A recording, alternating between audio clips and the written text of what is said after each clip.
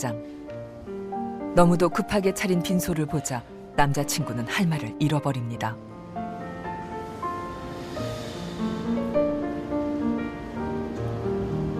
위패의 주인은 여객선 세월호의 승무원 박 씨. 승객들에게 구명조끼를 나눠주다가 정작 자신은 배 안에서 나오지 못했습니다.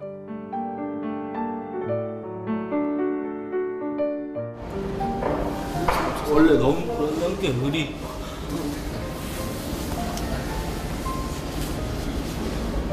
그 옷이 없었나 봐. 안 입었어. 예.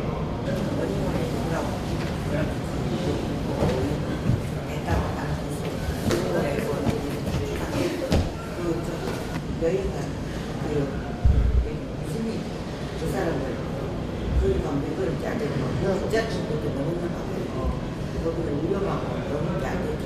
여덟 이렇게 피해서 나가라 싶다. 그러고. 어려운 형편 때문에 학교도 포기하고 시작하게 된 승무원 생활. 그래서 마지막까지 승무원으로 살다 간 딸이 엄마에게는 너무도 아픕니다.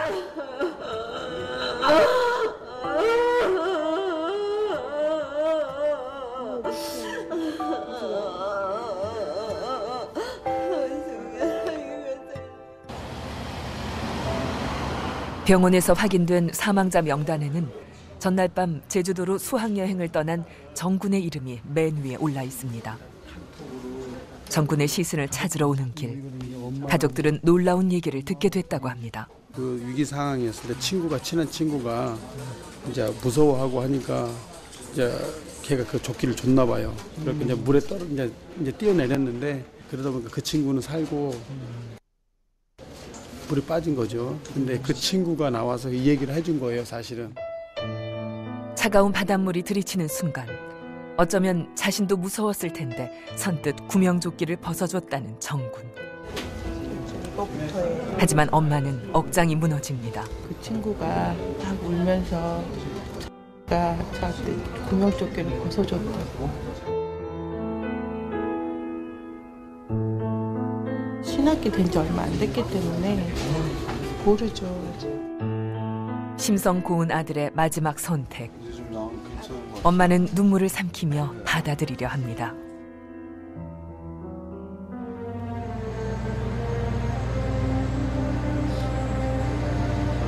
여기는 실종자 가족들이 모여 있는 사고대책 본부.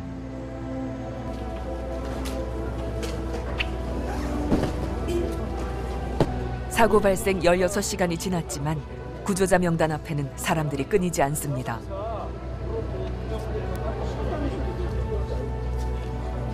잠시라도 자리를 비운 사이 혹여 애타게 찾는 그 이름이 새로 적혔을까? 좀처럼 그 앞을 떠나지 못하는 것입니다.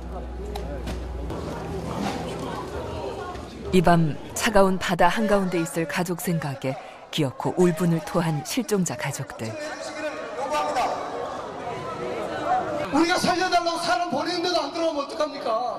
6,825톤급 여객선 저희들 지금 이제 저희들이 가장 어, 두려워하는 게 그겁니다. 자, 잠깐만요. 그 마음은 저도 알지만 저도 여러분들하고 똑같은 마음이에요.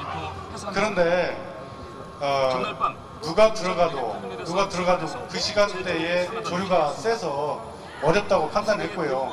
정부에서 못온 겁니까? 안온 겁니까? 그럼 최선을 다했는데 왜 한참 가만히 아무, 아무것도 안 했잖아요. 우리가 왜 정부에서 못 오는 거를 인간이 하는 걸 왜 막아요? 왜? 이유는 뭐예요? 아니 상대방 마음대로